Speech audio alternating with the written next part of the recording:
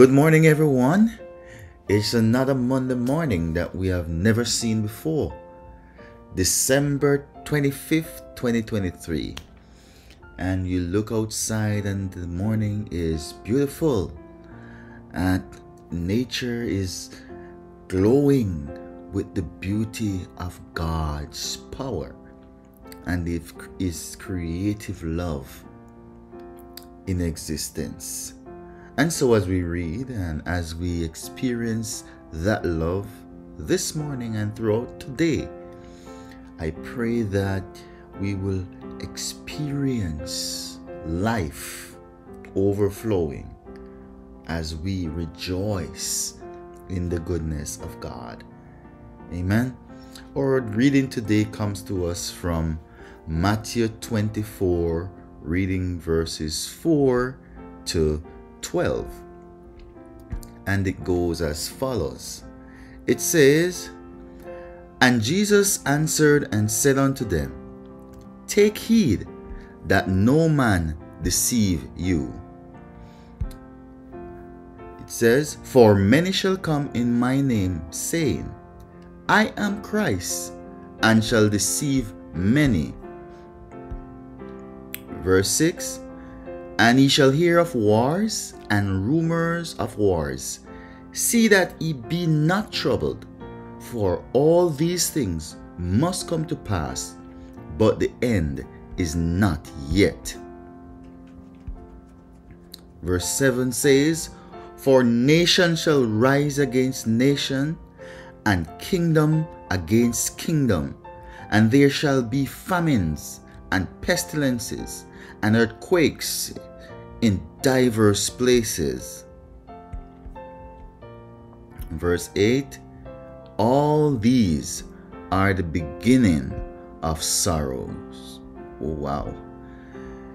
Verse 9 continues to say, Then shall they deliver you up to be afflicted, and shall kill you, and he shall be hated of all nations for my name's sake. Verse 10 And then shall many be offended, and shall betray one another, and shall hate one another. Verse 11 it says, And many false prophets shall rise, and shall deceive many. And 12 and last, and because iniquity shall abound, the love of many shall wax cold. And I say, Amen. God is God, and His word will and shall come to pass. This is a very profound reading that we are doing this morning. And as we consider these words, may we not slight them, but may we think about what the Lord is saying to us here. It says that we are living in the last days, right? And we are going to see and experience a lot of things right? And I'm sure all of us can give a test to that to to to that. Right? The things that we see happening now in, in our lifetime. It's it's out of this world. It's like evil has maximized tenfold. The devil is just on a rampage. Right? And here God is advising and warning us and encouraging us that we must be careful not to be deceived. Right? It says that what? We will hear of wars, rumors of wars. Aren't we seeing that? Look at what is taking place around the world. Look at all these countries that are involved in this in these major conflicts and war against their own people. Right? We shouldn't be warring against anybody. Right? Killing all these people. And for what? Greed and power? That makes no sense. But that's the world that we come to live in today. Man is all about themselves.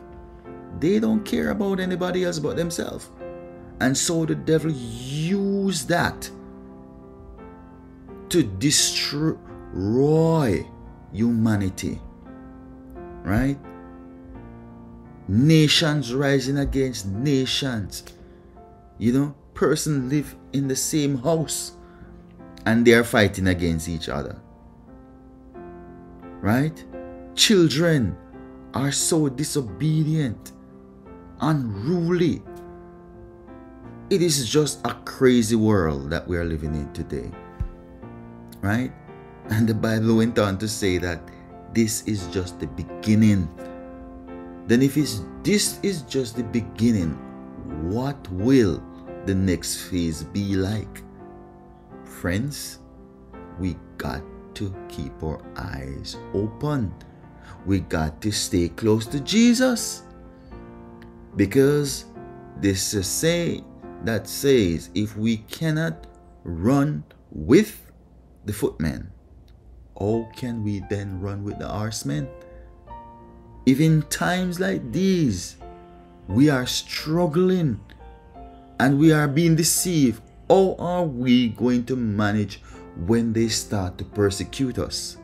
When they start to, to withhold food from us? We can't buy and we can't sell all of these things. Right? What will we do then? But we have an assurance in God. He tells us in His Word that look here, when that time come, I will take you under my wings. It's not that He's not have to want to take you under His wings now, you know. Don't get me wrong. But at that time, we are going to need Him even more. And so He's encouraging us that don't worry, if you make the right decision now to follow me, then you don't need to worry about the horseman experience because you would have already prepared yourself for that. And I will give you the strength, right? In the time of trouble, He will give His angel charge over us, right?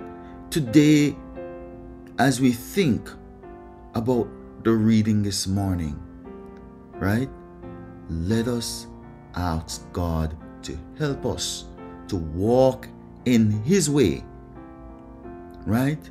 When you think about how people killing people just like you kill mosquito and flies, for those who know those kind of thing, right? It's like life means nothing. The heart is so cold and so numb. Right? And they have no regards for who or what. Down to the common animals. They kill without reservation. They kill babies, kill elderly people. Right? All lives are important. Right? And so we have to look at these things and understand that Jesus is about to come. Right? He says that when we see these signs, what we need to do, look up for our redemption joy nigh.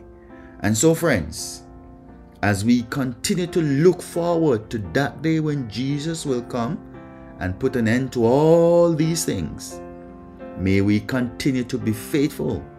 May we continue to be true and may we continue to show the world, in spite of his craziness, that God still loves and wants to save them.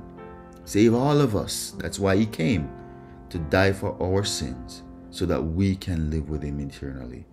And so may God continue to protect you, to preserve you, to strengthen you, and may you remain faithful until the very end. In Jesus' name, amen. Have a wonderful day, and God bless you.